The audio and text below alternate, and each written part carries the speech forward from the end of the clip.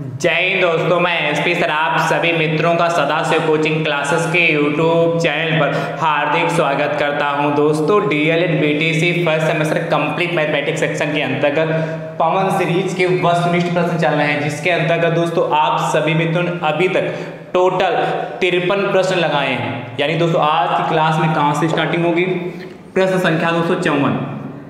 Question number दोस्तों fifty four दोस्तों, आप एग्ज़ाम के तक, दोस्तों, लगातार आप सभी मित्र अपनी प्रैक्टिस करते रहिए। जितना ज़्यादा दोस्तों आप प्रैक्टिस करेंगे, उतना ज़्यादा दोस्तों आपको तैयार होगा और दोस्तों आप एग्ज़ाम में आसानी से कर पाएँगे। दोस्तों, मैंने आप सभी मित्रों को D L first semester mathematics का पूरा कंप्लीट सिलेबस प्रोवाइड कराया है। प्रैक्टिस सेट दोस्तों भी मैंने प्रोवाइड कराए वेरी इंपॉर्टेंट प्रश्न भी प्रोवाइड कराए हैं। ठीक है? प्रीवियस ईयर के पेपर प्रोवाइड कराए। अब दोस्तों, इस समय आपको पवन सीरीज़ के वस्तुनिष्ठ प्रश्न भी प्रोवाइड करा रहा हूँ। इसके बाद दोस्तों, आप सभी मित्रों को मॉडल पेपर भी प्रोवाइड कराऊँगा। तो दोस्तों ये जितना भी मैंने मैटर आपको प्रोवाइड कराया और जो प्रोवाइड करा रहा हूँ, अब आगे जो कराऊँगा। दोस्तों, यदि आप इतना सीख कर जाते हैं तो मुझे उम्मीद है, यदि आपने ईमानदारी से, लगन के साथ, मेहनत के साथ सीखा होगा तो आपके 25 में 25 नंबर दोस्तों आएँगे। किसी भी मित्र की बैक नहीं लगेगी। चाहे उसको गणित आ रही हो, चाहे नहीं आ रही हो, क्योंकि उस, वो हमारे साथ शुरुआत से जुड़ा है तो दोस्तों क्या होगा?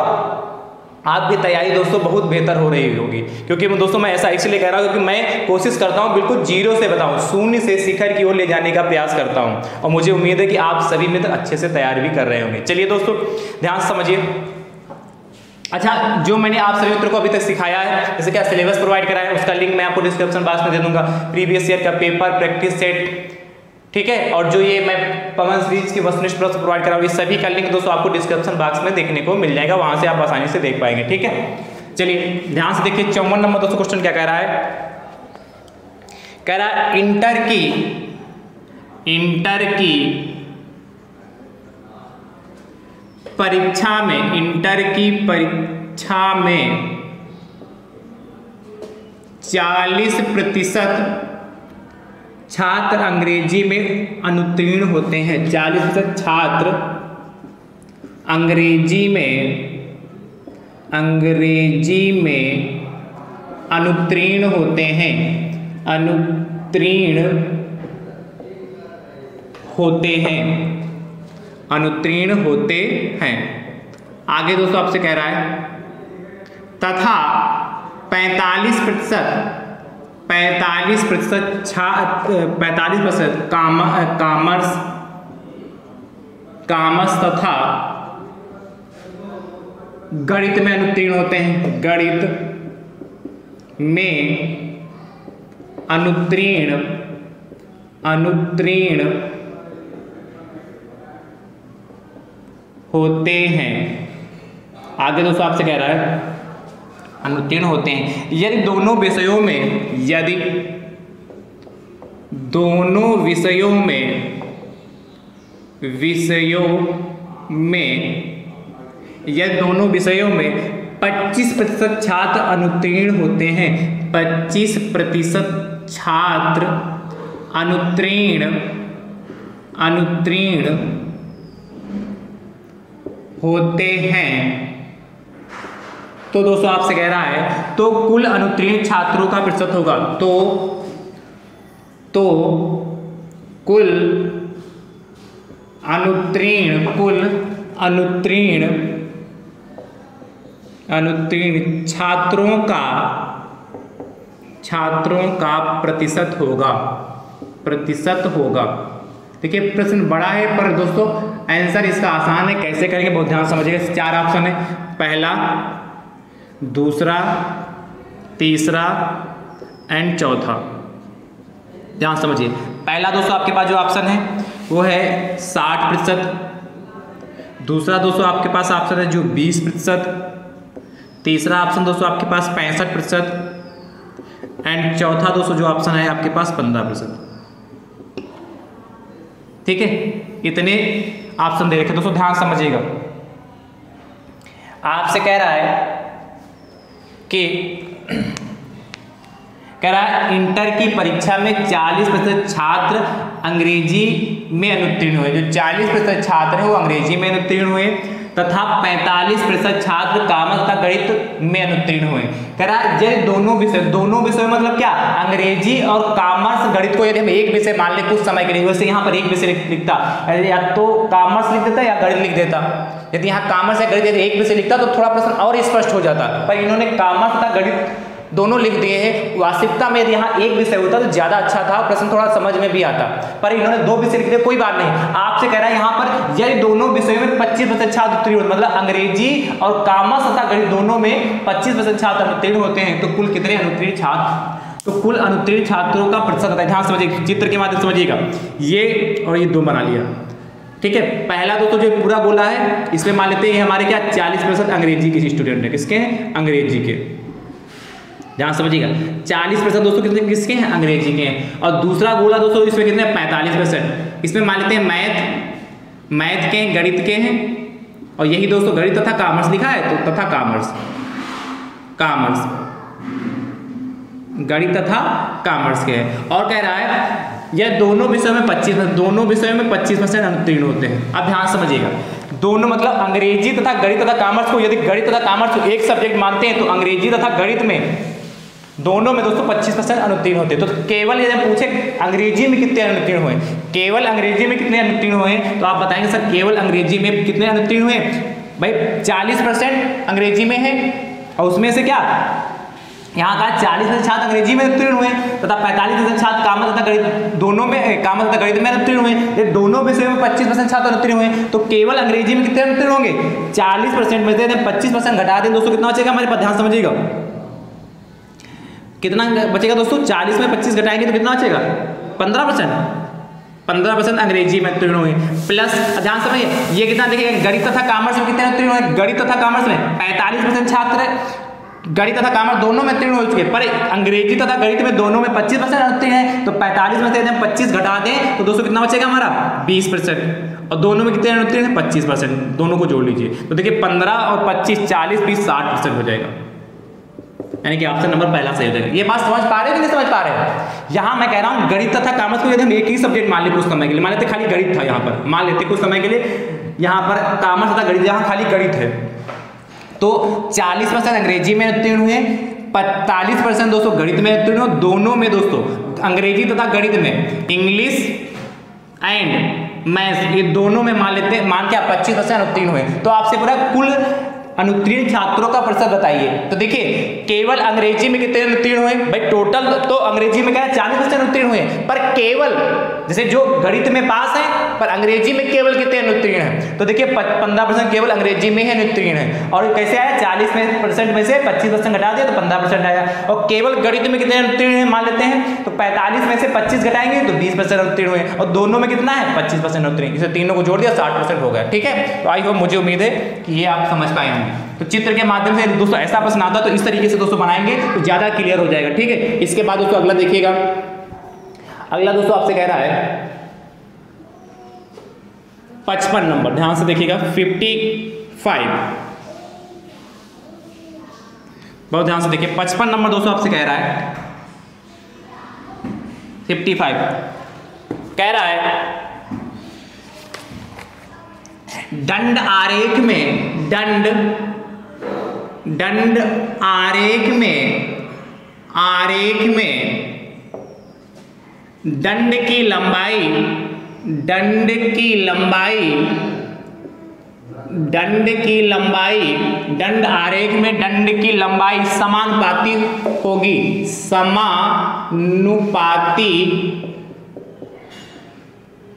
होगी। ध्यान समझिएगा।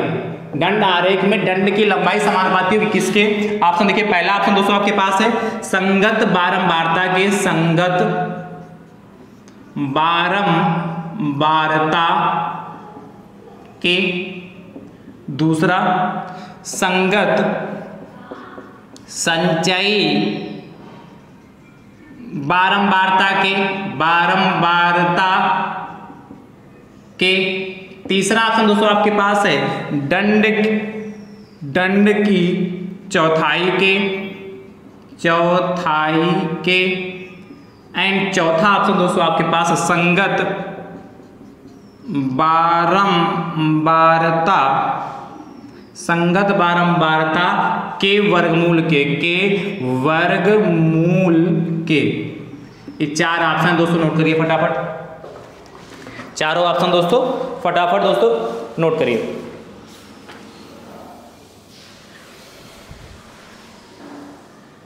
हो गया?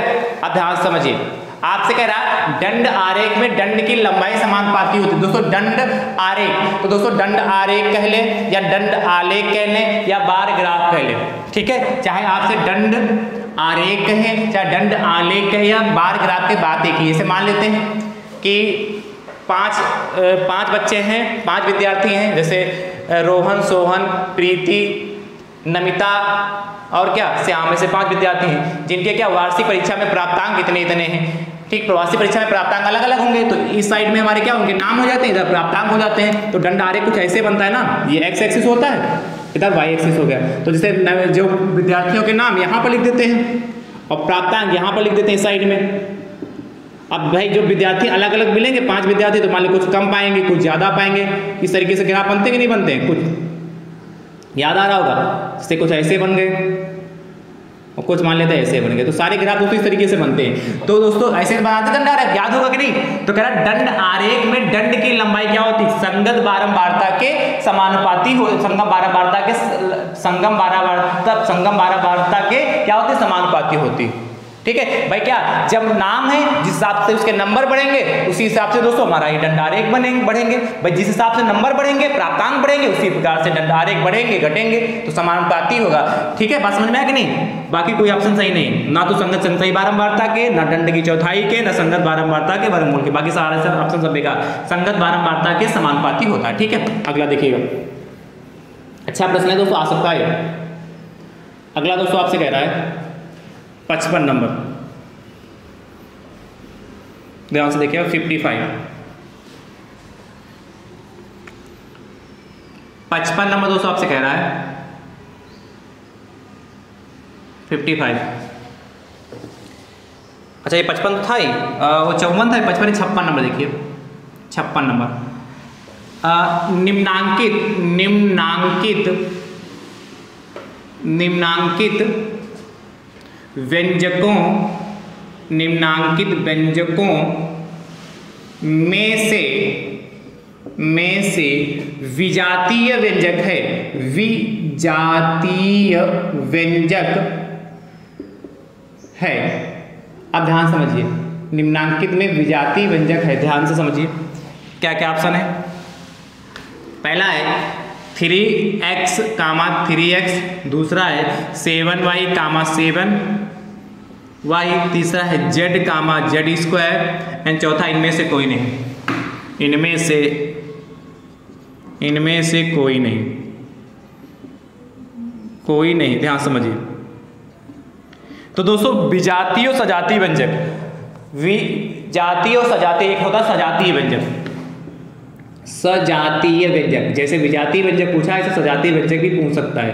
देखिए, जिसमें वेरिएबल वेरिएबल क्या होते हैं? चर। मतलब चर वेरिएबल से X Y Z X Y Z जिनकी वैल्यू दोस्तों क्या लगातार बदलती रहती है? अचर क्या होते हैं? जिनकी वैल्यू फिक्स जैसे एक, दो, तीन, चार, पाँच। ये हमारे क्या सब अचर है?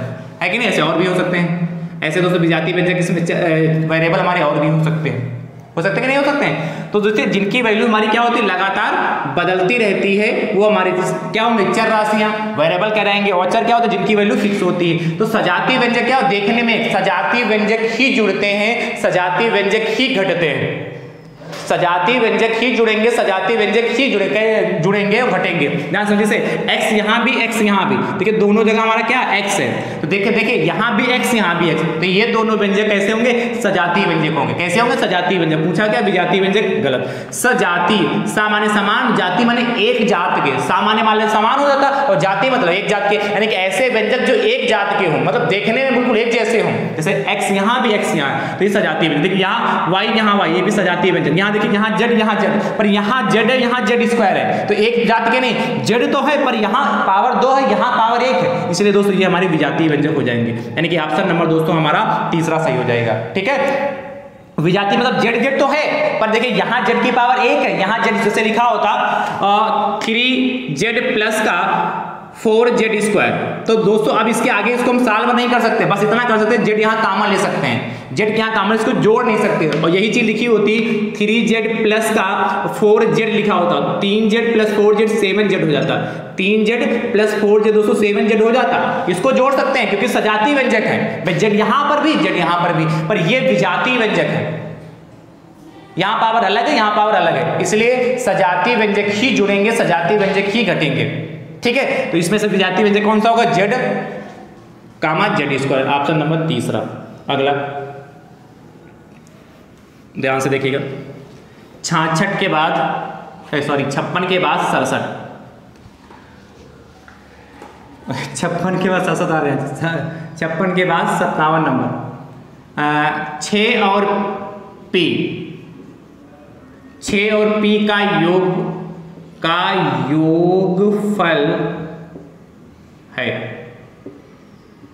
ठीक है? छ और पी का योगफल, ध्यान समझिए ऑप्शन क्या क्या है? पहला दूसरा ऑप्शन आपके पास सिक्स पी दूसरा ऑप्शन सिक्स प्लस पी तीसरा ऑप्शन पी माइनस सिक्स और चौथा ऑप्शन इनमें से कोई नहीं।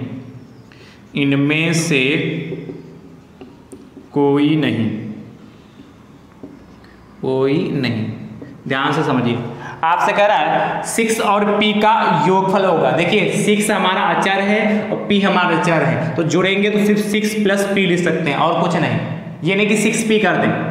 ये मल्टीप्लाई सिक्स और पी का यदि कहता गुणनफल बताइए। तो सिक्स पी हो सकता, पर योगफल कहेगा तो सिक्स और पी ही होगा। सिक्स प्लस पी होगा, ठीक है? चलिए अगला। सत्तावन के बाद अट्ठावन नंबर देखिए। अट्ठावन नंबर दोस्तों, आपसे कह रहा है। फिफ्टी एट कह रहा है, निम्नांकित निम्नांकित व्यंजकों व्यंजकों में, निम्नांकित व्यंजकों में से, व्यंजकों में से द्विपदीय व्यंजक द्विपदीय व्यंजक, निम्नांकित व्यंजकों में से द्विपदीय व्यंजक है। अब ध्यान समझिए। ऑप्शन देखिए, पहला। सेवेंटीन वाई की power five two X Y plus X X plus Y plus P और चौथा, इनमें से कोई नहीं। ध्यान समझिए, द्विपदी मतलब जिसमें दो पद होते हैं। मैंने बताया था, जब भी आपको पद गिनने हो तो दोस्तों, पद गिनने के लिए आप प्लस माइनस गिन लीजिए। जितने प्लस माइनस होंगे, उससे एक ज़्यादा पद होगा। जैसे इसमें प्लस का एक ही प्लस है इसमें एक ही प्लस है। इसमें प्लस देखिए, नज़र ही नहीं आ रहा। देखिए यहाँ तो सत्रह प्लस का वाई जेड पर यहाँ अलग से कोई प्लस लगा नहीं। इसलिए तो एक पद ही हो गया। इसमें देखिए, एक प्लस लगा है। तो इधर एक पद होगा, एक इधर पद होगा। तो ये दो पद ही हो गया। इसमें देखिए, दो प्लस लगा। इससे एक ज़्यादा। एक, दो, तीन। ये तीन ही पद ही है। और इनमें से कोई तो है ही नहीं। यानी कि ऑप्शन नंबर सेकेंड हो जाएगा। जिसमें देखिए प्लस एक है तो देखिए, दो पद हो जाएँगे। जैसे दो प्लस लगे होते तो तीन पद हो जाएँगे। एक प्लस एक माइनस लगा होगा, तब भी दोस्तों क्या तीन पद हो जाएँगे। जितने प्लस माइनस लगेगा, उससे एक ज़्यादा पद दोस्तों होता है, ठीक है? गिन लिया करिए से प्लस लगा यहाँ पर तो एक पद ये होगा, दूसरा पद ये होगा, जैसे यहाँ पर एक प्लस यहाँ, एक प्लस यहाँ तो दो प्लस हो गए तो एक पद ये होगा, एक पद ये होगा, एक पद ये तो तीन पद। ये तीन पदी है दो पदी है एक पदी है ठीक है? तो कुछ ज़रूरी है कि द्विपदी पूछा है इसमें तो द्विपदी पूछे। आपसे त्रिपदी भी पूछ सकता है चतुर्थपदी भी पूछ सकता है। फिफ्टी नाइन उनसठ नंबर कह रहा तीन तीन असमान तीन असमान भुजाओं वाले भुजाओं वाले, तीन असमान भुजाओं वाले त्रिभुजों को कहते हैं। त्रिभुजों को कहते हैं। कहते हैं। ध्यान समझिए। आपसे कह रहा तीन असमान भुजाओं वाले त्रिभुजों को कहते हैं। देखिए, पहला ऑप्शन क्या है? पहला, समबाहु त्रिभुज। दूसरा ऑप्शन दोस्तों विषम बाहु त्रिभुज। विषम बाहु त्रिभुज। तीसरा ऑप्शन दोस्तों आपको दे रखा है समकोण त्रिभुज। समकोण त्रिभुज एंड चौथा दोस्तों ऑप्शन है न्यून कोण त्रिभुज। न्यून एक्यूट एंगल एक्यूट ट्रैंगल न्यून कोण त्रिभुज। तीन असमान भुजाओं वाले त्रिभुज को कहते हैं। तो आप जानते हैं, जैसे मान लेते त्रिभुज हमारे पास ये है। ठीक है तो एक ये तीनों, पहली ये दूसरी ये तीसरी। ए बी सी ऐसा त्रिभुज जिसकी तीनों भुजाएँ असमान होती हैं विषम त्रिभुज कहलाता है। कोई ऑप्शन है? ऑप्शन नंबर दो सौ आपका सेकेंड होगा देखिए समबाव त्रिभुज, ऐसा त्रिभुज जिसकी तीनों भुजाएँ बराबर होती हैं। तीनों भुजाएँ क्या होंगी? बराबर होंगे। समबाव सम माने समाव सम माने समान भाव माने भुजा ऐसा त्रिभुज जिसकी तीनों भुजाएँ बराबर होती है समबाव त्रिभुज कहलाता है। ऐसा त्रिभुज जिसकी तीनों भुजाएँ अलग अलग होती हैं विषमभाव त्रिभुज कहलाता है। समकोण त्रिभुज, ऐसा त्रिभुज जिसका एक कोण नब्बे डिग्री होता है, वह समकोण त्रिभुज कहलाता है। ठीक है? और न्यून कोण त्रिभुज, ऐसा त्रिभुज जिसका क्या होता प्रत्येक कोण 90 डिग्री से कम होता है न्यून कोण कहलाता है। ज़ीरो डिग्री से अधिक और 90 डिग्री से कम होता है न्यून कोण त्रिभुज कहलाता है। ठीक है? चलिए। यानी कि, या कह लें जिसमें कम एक कोण यदि आपका 90 से कम है तो बाकी सारे कोण भी दोस्तों 90 से ही कम होंगे आपके, ये तो पक्का है। है कि नहीं? जैसे एक कोण ऐसा त्रिभुज, जिसमें क्या होगा? प्रत्येक कोण 90 से कम हो। प्रत्येक कोण 90 से कम होगा। प्रत्येक सारे कोण होना चाहिए 90 से कम होंगे। तो दोस्तों नियम कोण त्रिभुज कहलाएगा। एक कोण यदि, एक कोण हमारा 90 से कम है तो कोई ज़रूरी नहीं हो नियम कोण त्रिभुज हो। ठीक है, पर जब सारे कोण 90 से कम होंगे तो न्यून कोण त्रिभुज हमारा कहलाएगा। अगला देखिए। अगला दोस्तों आपसे कह रहा है, साठ नंबर, सिक्सटी। कह रहा है, ध्यान से समझिएगा। नोट करते रहिए फटाफट। कह रहा है, तीन समान भुजाओं वाले त्रिभुज को कहते हैं। तीन समान भुजाओं तीन समान भुजाओं वाले वाले त्रिभुज को कहते हैं। कहते हैं। अच्छा ये पार्ट नंबर कौन सा है? चार पार्ट इसके करा चुका हूँ। ये पार्ट नंबर दो सौ पांचवा है, ठीक है? पार्ट नंबर कौन सा? पांचवा है। चलिए यदि मैं यही ऑप्शन रखूँ, वैसे इसमें आपके ऑप्शन अलग अलग दे रखे हैं, पर मैं यही ऑप्शन रख रहा हूँ, ठीक है? तीन समान भुजाओं वाले त्रिभुज को कहते हैं। अभी मैंने बताया, तीन समान भुजाएँ होंगी तो उसे क्या कहेंगे? समबाव त्रिभुज कहते हैं। ठीक है? ऑप्शन आपके सीरीज़ में अलग अलग दे रखे पर मैंने यही रख दिए इससे कोई इफ़ेक्ट पड़ेगा नहीं। आपको पता होना चाहिए कि तीन समान भुजाओं वाले त्रिभुज को कहते हैं। समबाव त्रिभुज कहते हैं। साठ के बाद इकसठ नंबर देखिए। इकसठ नंबर दोस्तों आपसे कह रहा है। ध्यान से। दो समान भुजाओं वाले त्रिभुज को कहते हैं। दो समान भुजाओं, दो समान भुजाओं वाले त्रिभुज त्रिभुज को कहते हैं। कहते हैं। ध्यान समझिए, इसके ऑप्शन क्या क्या दे रखे हैं? देखिएगा। पहला ऑप्शन दोस्तों आपके पास है। विषम विषम बाव। दो, नहीं नहीं नहीं। हाँ चलो विषम बाव त्रिभुज दूसरा ऑप्शन दोस्तों है आपके पास। सम द्विबाहु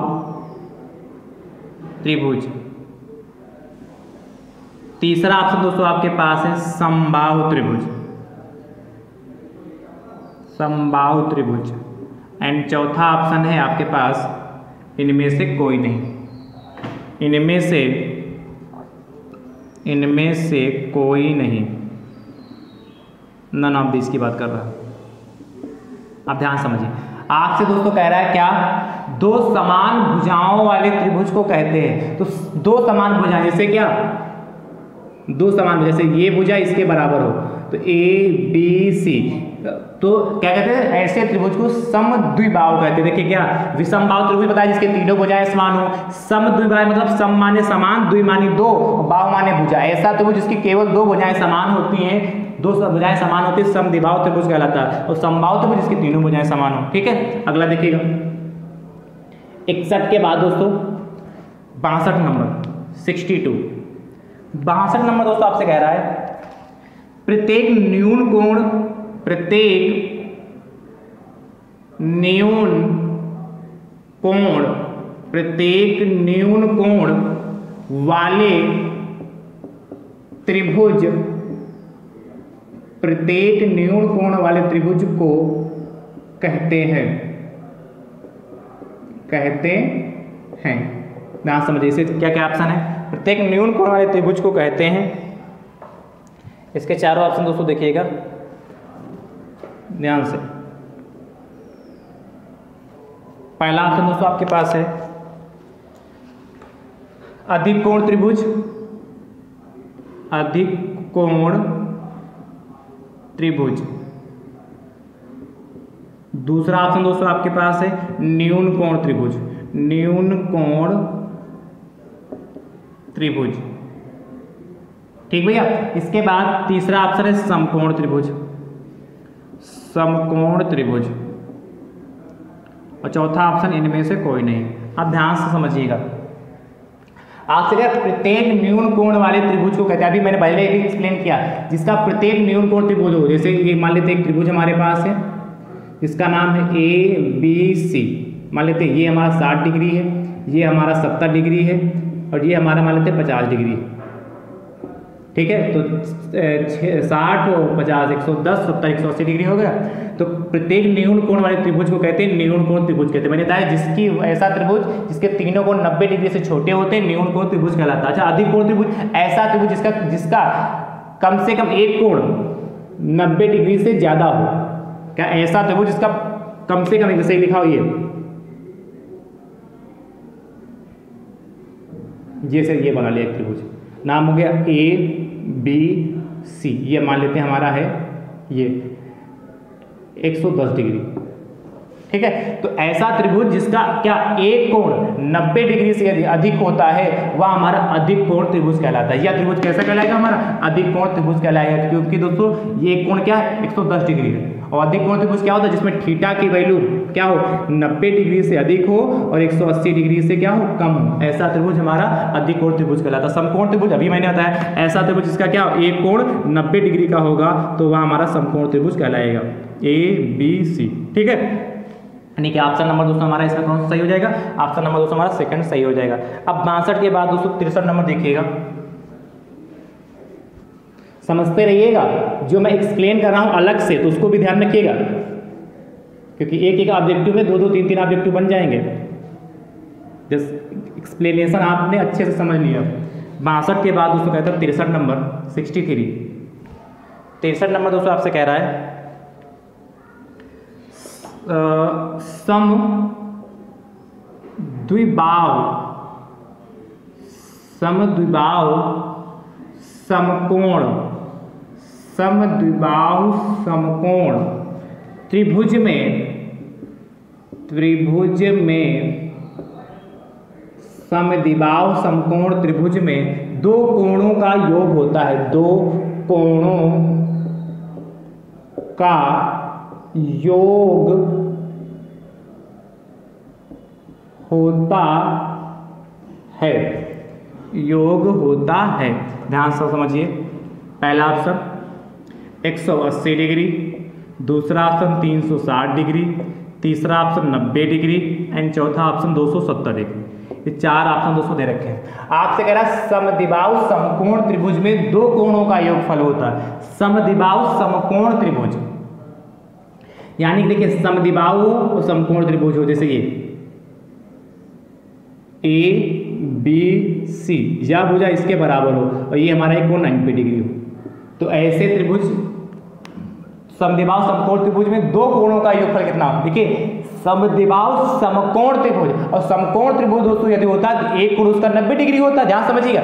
एक कोण 90 डिग्री होता तो में दो कोण बचे तो एक कोण दोस्तों कौन सा बचा? कोण ए बचा जाके, दूसरा कोण कोण बी बचा जाके। तो इन दोनों कोणों का योगफल दोस्तों कितना होगा? नब्बे डिग्री ही तो होगा। क्यों? क्यों होगा? क्योंकि आप जानते हो त्रिभुज के तीनों अंता कोणों का योगफल 180 डिग्री होता। है जब उसमें से एक 90 डिग्री हो चुका है तो 180 में से 90 घटा के 90 ही तो बचेगा। यानी कि एंगल ए और एंगल बी का योगफल दोस्तों किसके बराबर होगा? 90 डिग्री के बराबर हो जाएगा। यानी कि ऑप्शन नंबर दोस्तों हमारा तीसरा सही हो जाएगा। चलिए, नोट करिए। फटाफट। ठीक है? तिरसठ के बाद दोस्तों चौसठ नंबर आपसे कह रहा है सिक्सटी चौसठ नंबर देख लीजिए। सिक्सटी फोर दोस्तों आपसे कह रहा है। ध्यान से देखिएगा। कह रहा है, आयत का आयत का प्रत्येक कोण प्रत्येक कोण, आयत का प्रत्येक कोण होता है। आयत का प्रत्येक कोण होता है। ध्यान समझिएगा। कितने का होता है? पहला ऑप्शन दोस्तों 90 डिग्री, दूसरा ऑप्शन 180 डिग्री तीसरा ऑप्शन 270 डिग्री एंड चौथा ऑप्शन 360 डिग्री। तो दोस्तों, आप जानते हैं आयत का प्रत्येक कोण कितने का होता है? 90 डिग्री का होता है। भाई, ऐसे ये आयत है हमारा। ये हमारा क्या आयत? ए बी सी डी ये आयत है। तो आयत का जो प्रत्येक कोण होता है, वह दोस्तों हमारा 90 डिग्री का होता है। कितने का होता है? 90 डिग्री का होता है। तो इस बात को तो मैंने क्या प्रॉपर्टी भी बताई आपको? यानी कि आपका नंबर पहला सही हो जाएगा। तो दोस्तों, आज की क्लास आप सभी मित्र को कैसी लगी? कमेंट बॉक्स में दोस्तों ज़रूर बताइएगा। अभी इस सीरीज़ में प्रश्न और बचे हैं, वो आगे के पार्ट में देखने के लिए मिलेंगे। इस वीडियो को आप अपने अपने स्तर से शेयर ज़रूर करते रहिए और इतना ज़्यादा शेयर करिए कि डी के फ़र्स्ट सेमेस्टर में जितने भी प्रशिक्षु मित्र हैं, उन सभी प्रशिक्षुओं तक दोस्तों यह वीडियो पहुँच सकते। तो हमारे आपकी मुलाकात अगले पार्टी में होंगे, तब तक के लिए आप सभी मित्र स्वस्थ रहिए, मस्त रहिए, मुस्कुराते रहिए। थैंक यू सो मच दोस्तों, राधे राधे दोस्तों।